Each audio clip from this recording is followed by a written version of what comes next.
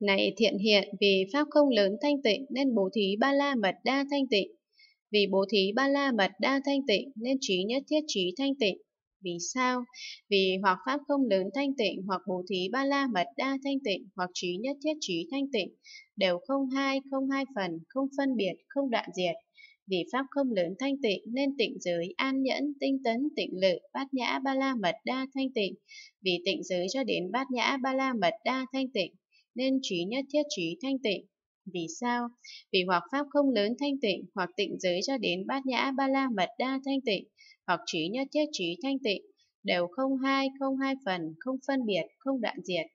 Này thiện hiện, vì pháp không lớn thanh tịnh, nên pháp không nội thanh tịnh, vì pháp không nội thanh tịnh, nên trí nhất thiết trí thanh tịnh. Vì sao? Vì hoặc pháp không lớn thanh tịnh, hoặc pháp không nội thanh tịnh, hoặc trí nhất thiết trí thanh tịnh, đều không hai, không hai phần, không phân biệt, không đoạn diệt. Vì pháp không lớn thanh tịnh nên pháp không ngoại, pháp không nội ngoại, pháp không không, pháp không lớn,